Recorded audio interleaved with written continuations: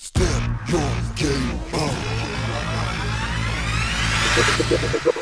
Step your game up. Welcome everybody. This is DJ ND. In this episode, I will give you some tips and tricks to add some backspins into your DJ sets.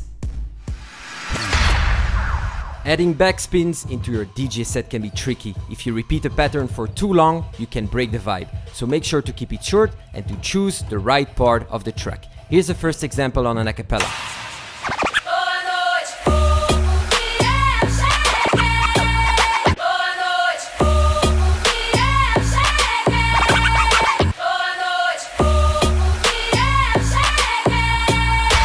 Unless the crowd is really feeling what you're doing, most of the time, three repetitions are enough. In the next example, I'm gonna keep it short as well, but a bit more technical, adding some left rights. Check it out.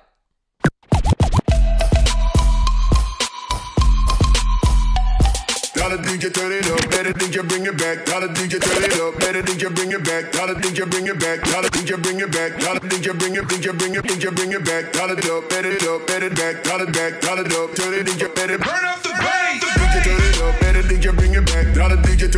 Whatever pattern you're doing, you have to keep it musical and original. You can also use the notes of your track to give it a special twist. Here's another example.